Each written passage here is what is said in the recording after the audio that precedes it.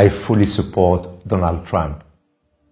I am not a professional politician, and I also want to restart, to reset our corrupt and inefficient political system here. Chez nous, est-ce que vous voyez des gens qui, en Europe, commencent à, à correspondre au modèle Trump, Nicolas? En Belgique, on n'en a pas énormément. On a peut-être Michael Modric-Amen qui a euh, défendu, euh, enfin, qui, qui, qui, se sent proche de, de Trump.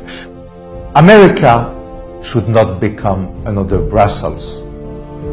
It was once a vibrant, entrepreneurial, joyful, peaceful city. That was before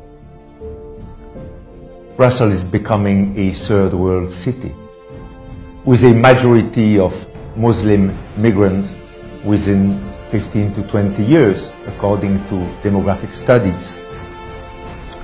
But more than half of them have strong Islamist beliefs as well as anti-Semitic prejudice.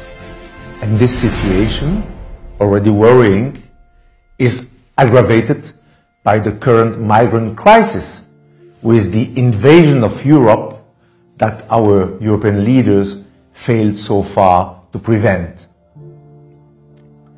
Jihadists that have killed a few months ago 130 innocent people in Paris and wounded many more came, part of them, from Brussels. Mr. Trump, we have this in common. We speak the truth. We name things. Of course, the political and media elites will never forgive us for that. But ordinary citizens, the voiceless, are not fooled or abused. Mr. Trump, make America great again. You are an example for many of us here in Europe.